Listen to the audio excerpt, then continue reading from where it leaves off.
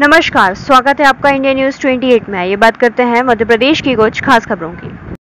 बैतूल में दरमियानी रात भीषण कार हादसा। खबर मध्य प्रदेश के जिला बैतूल से है। बैतूल की कमानी गेट रानीपुर सारनी रोड पर रक्कू शर्मा के पेट्रोल पंप के पास रात दरमियानी 11 से 12 के बीच में भयानक accident four wheeler Swift Vijay ने मारी टक्कर, मोटरसाइकिल सवार दोनों व्यक्ति घायल जिन्हें हॉस्पिटल पहुँचाने के बाद भोपाल रेफर किया गया। सूत्रों से मिली जानकारी के अनुसार एक व्यक्ति की मृत्यु हो गई है। उक्त मृत्यु की पुष्टि होना शेष है। घटना करने वाले आरोपी युवक नशे की हालत में गाड़ी चला रहा था। सूत्रों से मिली जानकारी के अनुसार सारणी का युवक नशे की हालत में स्विफ्ट डिज़ायर चला रहा था। साथ में अन्य चार लोग भी गाड़ी में सवार थे। दोनों घायल व्यक्ति भोपाल निवासी बताए जा रहे हैं, जिसमें से एक की मृत्यु होना बताया गया है। प्रत्यक्षदर्शियों ने बताया कि उक्त एक्सीडेंट इतना भीषण था कि कार के सामने के परखच्चे उड़ गए, तथा कार के एयरबैग भी खुल चुके थे।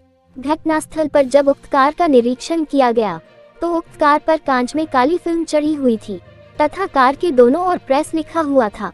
विचारणीय प्रश्न यह है कि जब शासन द्वारा कार के दरवाजे एवं सामने के कार्य पर काली फ़िल्म हटाने की कार्रवाई की जा चुकी है ऐसी स्थिति में उक्त कार पर प्रेस लिखा जाना तथा कार के कांच पर काली फ़िल्म चढ़ाया जाना यह इंगित करता है कि उक्त कार को अवैधानिक गतिविधियों में भी इस्तेमाल किया जा सकता है। थाना कोतवाली प्रभारी द्वारा उक्त एक्सीडेंट के साथ ही इस बात की भी जाँच करना चाहिए कि क्या उक्त कार किसी मीडिया कर्मी की थी अथवा नहीं यदि नहीं थी। तो ये भी एक अपराध दर्शित करता है। पूर्व में एक प्रेस वार्ता में पत्रकारों द्वारा एसपी सिद्धार्थ चौधरी जी को अवगत कराया गया था। कि कई लोग अपने वाहनों पर प्रेस लिखाकर अवैध गतिविधियाँ कर रहे हैं।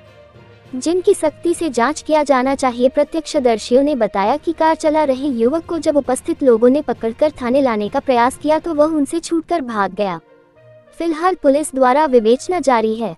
बैतूल से जिला ब्यूरो चीफ मोहन प्रजापति की रिपोर्ट।